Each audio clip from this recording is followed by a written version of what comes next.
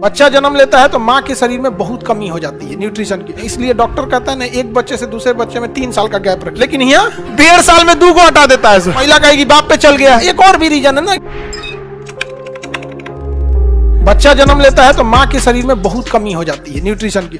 उसकी भरपाई करने में उसको तीन साल लग जाता है। भरपाई करते करते तीन साल लग जाते हैं। इसलिए डॉक्टर कहता है ना एक बच्चे से दूसरे बच्चे में तीन साल का गैप रखिए, ताकि भरपाई हो जाए, आपके शरीर में आ जाए, ताकि नया बच्चा है तो उसमें प्रॉपर न्यूट्रिशन जा सके।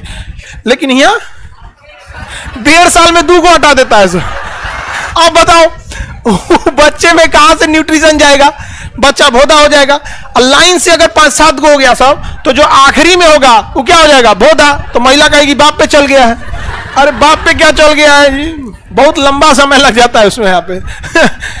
तो गैप रहना चाहिए एक बच्चे से दूसरे बच्चे में, ताकि एक और भी रीजन है ना कि एक बच्चे से दूसरे बच्चे में गैप रहेगा तीन साल का चार साल का तो एक बच्चे को प्रॉपर केयर किया जा सकता है। नहीं तो फिर वही हो जाएगा एगो के एन्ने बैठा एगो के एन्ने बैठा होने पति को गले पगला, कहीं का खाना लेके आओ यहाँ चुप रहेगा कि नहीं?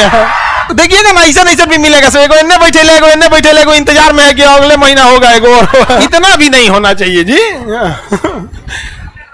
एजुकेशन जो आएगा ना देखिएगा जो एजुकेशन बहुत ज़्यादा ज़रूरी होता है इस सब चीज़ों के लिए।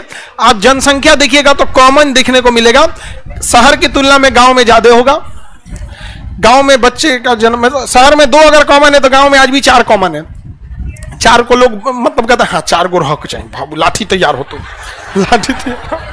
अमीर और गरीब में देखिएगा, अमीर के लिए एजुकेशन अमीर कैसे बना है? पढ़िए लिखे कि क्योंकि पैसा का पेड़ लगल है तो थोड़ा अगर अमीर बन गया तो एजुकेटेड सोसाइटी में रहा है, उस कैटेगरी में तो उसको धीरे धीरे क्या आ गई है? जागरूकता आ गई है। तो दो चीज़ें बड़ा मायने रखती है।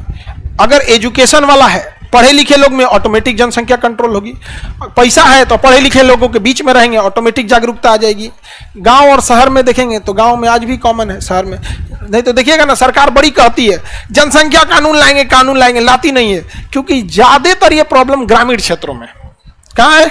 ग्रामीण क्षेत्रों में। और ग्रामीण क्षेत्र से लोग उठ के शहर में आ जाते हैं, इसलिए शहर की जनसंख्या लगती है। लेकिन अगर यही कह दिया जाए लॉकडाउन लगा दो, सब लोग जब लौटने लगे शहर खाली होने लगता है। होने लगता है कि नहीं? तो फिर गवर्नमेंट को लोग ये देखिए, कुछ चीज़ें सामाजिक चीज़ें होती हैं। जैसे एक व्यक्ति चार चार ब्याह कर लेता है तो ये सामाजिक मुद्दा है। तो इसे कोशिश करना चाहिए, कानून के के माध्यम से कठोर कानून बनाए और समाज में भी इसकी जागरूकता लाना ज़रूरी हो जाता है।